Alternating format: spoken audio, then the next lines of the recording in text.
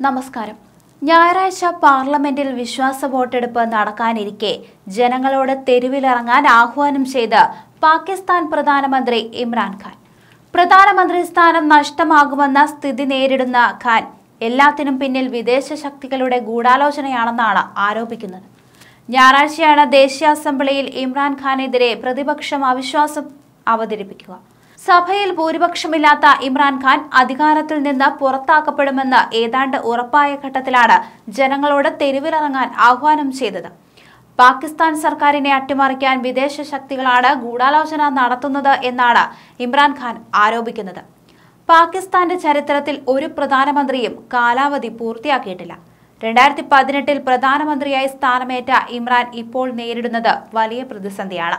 എന്നാൽ പ്രതിസന്ധി ഘട്ടത്തെ എങ്ങനെ നേരിടാമെന്നത് തനിക്ക് വ്യക്തമായ ധാരണയുണ്ടെന്ന് അത് ഇന്ന് കാണാൻ കഴിയുമെന്നാണ് അദ്ദേഹം പറഞ്ഞത്. എങ്ങനെയാണ് അവരെ നേരിടേണ്ടതെന്ന് ഞാൻ ആസൂത്രണം ചെയ്തുകൊണ്ടിരിക്കുകയാണ്.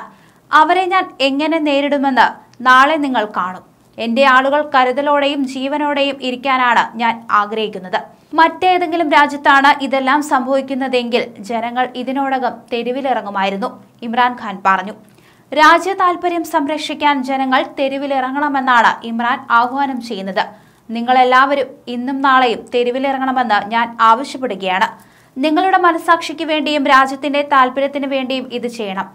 ഒരു പാർട്ടിയും അങ്ങനെ ചെയ്യാൻ നിങ്ങളെ നിർബന്ധിക്കില്ല.